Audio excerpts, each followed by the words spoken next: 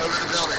If you're now just joining me, this is Stanford Wilbury with another edition of the Downtown Lexington Report, where today, this helicopter in high wind, without a sign, where's the sign?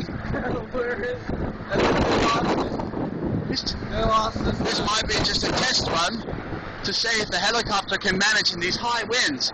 For we don't want the sign to blow away. Now, do we? Right, ladies and gentlemen. I'm Stanford Willoughby, and I'm the first to cover this story. And if this helicopter can manage this sign placing in this high wind, then this will be a downtown piece of history that we'll all bear witness to. Stay tuned for updates. This is Stanford Wilbury signing off.